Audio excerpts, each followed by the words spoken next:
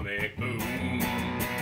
Hey guys, Comic Boom here to review Supergirl issue 29. And the great thing about this issue right off the bat is that the cover, that gorgeous cover with Supergirl holding up Rogol Zaar's axe, it actually takes place in the comic book. Bendis should take notes because in the first because in Superman issue 10 this week, what's on the cover has nothing to do with the interior. But I digress. Let's focus on Supergirl 29. Writer Marc Andreyko, he should be writing the full Superman Rogol Zaar narrative because he's much better at it. More is happening in the pages of Supergirl. We learn more about Rogol Zaar as we always have in the pages of Supergirl than we have in the pages of Superman. This is a really good issue, and it is beautifully drawn by Eduardo. Penzico? Penzico? Eduardo Penzico? I apologize if I'm saying that wrong, but gorgeous art. There's a wonderful uh, variant cover by Amanda Conner, Amanda Conner that's really good. And we we actually learned quite a bit, or at least we, we finally get to a point where Kara, Supergirl, at least knows as much as the reader does about the origins of Rogol and in particular the Circle. Because you got to remember, uh, ever since Supergirl left Earth, even though the narrative is dragged on somewhat, we, we at least have been subjected to a fairly good story and backstory. We've had the Omega Man, we have Harry Hokum. We had a lot of fun there. We had Kryptonian clones. So we've had a lot of fun along the way, even though the stories maybe uh, it's taken a while to get some answers. The fact of the matter is we're still getting more answers than we are over in the pages of Superman. And what's great here is that Z'ndol Kol, who is the son of uh, Empress uh, Gandello, who is a member of the Circle, he he's basically struggling this issue because he's not sure if he wants to confess to Supergirl that in fact he that he was originally a spy sent by his mother to spy on her. But ultimately, it all comes out. They're basically on a planet. They're relaxing after the uh, adventures with uh, defeating the forces of Harry Hokum in the previous three or four issues, and it, it's discovered that Krypto, in fact, has one of the crystals. Krypto managed to find one of the crystals that um, uh, Ali Apsa, the one of the Guardians, told Kara about, and that she the whole point was that Kara is supposed to travel to various points in the universe and collect these crystals, and these are all clues. And when you put all these crystals together, the full confession of Ali Apsa would be complete, and he would confess, and she would discover what the primary confession of the galactic circle, the circle, actually is. And it's discovered, of course, that confession is that all of the members of the circle, which consisted of a, of a Thanagarian ambassador, uh, the Empress Gandello, uh, Rann, uh, uh, uh pardon me, uh, a member from the Adam Strange.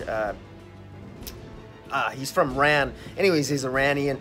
Anyways, all the members of the Circle, as well as King, as well as King M'yand'r of Tamaran, they all basically, basically recruited Rogol Zaar uh, initially for a good purpose to try to basically have someone uh, battle the force, you know, battle nefarious forces should they ever arise in the universe. But ultimately, the problem that arose, as is often the case, is that power corrupts, and that Rogol Zaar became ultimately corrupt, and Empress Gandello uh, wanted to be more proactive and actually be a little bit more power hungry, take planetary forces out, and she wanted to recruit Rogol Zaar for her purposes, and that's exactly what she did. So it was Empress Gandello, Ryander's basically adoptive mother, that basically um, made a deal with Rogol Zaar and said, Look, I will help you destroy Krypton if you come work for me.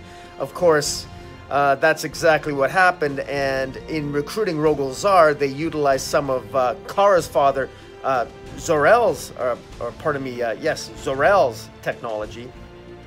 Kara's father is uh, Zor-El, and utilizing his technology, they basically, Rogol Zaar helped destroy Krypton, and Gandello, Empress Gandello, was part of that.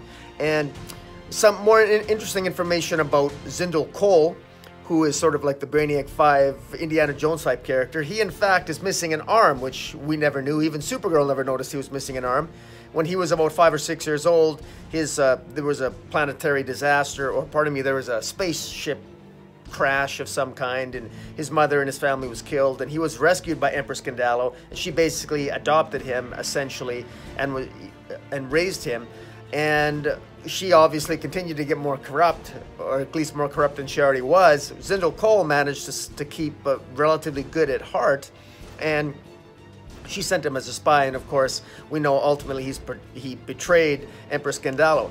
Now, what's interesting is that this this so much happens in this issue. This is such a fantastic issue. We got revelations and we got some we got some actual action because right in the middle of all this, while they're swimming and they're having they're talking and they're having these revelations, they're attacked by the followers of Rogol Zaar. Because uh, because what happens is that when the crystals are put together, the minute the crystals are in close proximity to Rogol Zaar's axe, all of a sudden Rogol Zaar's axe and the crystals uh, that Ali Apsa had, Kara Zor-El that had Supergirl that she gathered, they all mixed together and they they they created this massive, uh, sort of this massive bright light, and that led to Ali Apsa providing the confession that Kara wanted to discover, and so the crystals are linked to Rogol Zaar's axe, and the minute that the axe acti- the axe activated all the crystals and gave rise to the confession that was detected by Empress Gandello, and she sent more of her forces to retrieve Rogol Zaar's axe.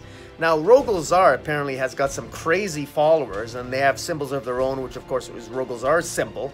And they attack Supergirl and Z'ndol Kol and Krypto. And what's very, very interesting is that they uh, this axe is uh, particular. It's the the axe is very interesting because it's in relaying the story of Rogol Zaar, it's quite apparent that Rogol Zaar himself has got a connection to the axe.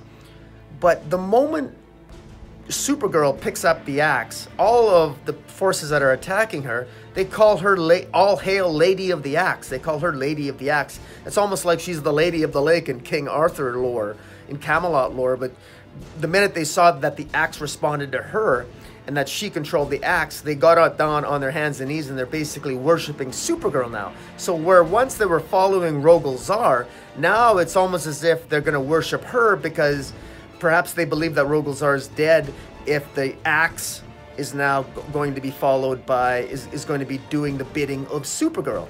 And what's also interesting is that it showed a flashback of Rogol Zaar, presumably still in the Phantom Zone, making some comment that he can feel his axe, he can feel it elsewhere, and that one day he's going to be reunited with his axe and he's going to kill all the final remaining Kryptonians in the universe. And so at some point, we know that we're going to have a battle over that axe, because I'm sure Rogol Zaar is going to want to reclaim his axe, but is the is the axe sentient? because the followers of Rogol Zaar think that only the most worthy can wield the axe of Rogol Zaar. But we all know that Rogol Zaar is not a worthy person. He's a piece of crap, and he's evil, and he's a bastard. So, if if the if Rogol Zaar is worthy to wield the axe, what does that say about Supergirl? I mean, we know Supergirl is worthy, but it's interesting that the, that the axe is, cho- is choosing to uh, allow Supergirl to use it. That's very interesting. So at some point, we're going to have a battle for the axe between Rogol Zaar and Supergirl.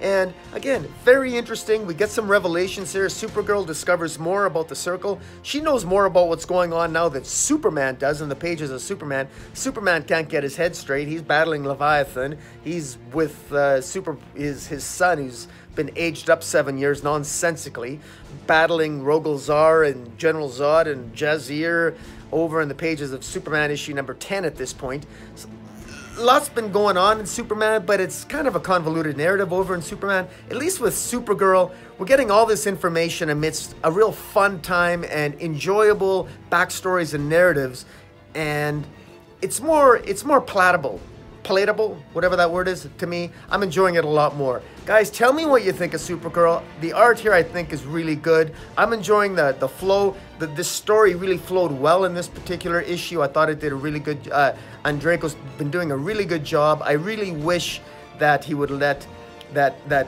Bendis would let him write the dialogue for, for Superman because Marc Andreyko's just doing a really great job and I'm really enjoying it. Tell me what you think, guys, of Supergirl issue 29. Follow me on Twitter at Metropolis40. And until next time, Comic Boom out.